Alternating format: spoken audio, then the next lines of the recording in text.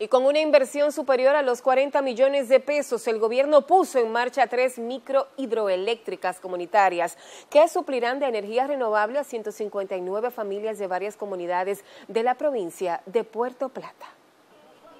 El trabajo fue realizado por la Unidad de Electrificación Rural y Suburbana WERS en conjunto con otras entidades gubernamentales, privadas y comunitarias.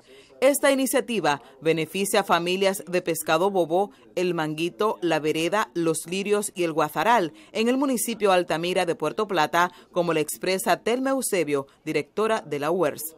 Estas iniciativas abren las puertas a grandes oportunidades de crecimiento en el ámbito social, cultural y económico a través de la puesta en marcha de estos importantes proyectos eléctricos que hoy iluminan los rostros de felicidad de todos los comunitarios de Pescado Bobo, La Veleda y Los Lirios. Para los residentes de la zona, estas microeléctricas representan desarrollo y, en consecuencia, mejores condiciones de vida. Las obras cuentan con una extensión de redes de 1.4, 5.4 y 2.7 kilómetros de líneas de media y baja tensión, cada una con un total de 9.5 kilómetros de redes contento, alegre. El sitio de que creíamos más difícil, lo estamos viendo fácil ahora.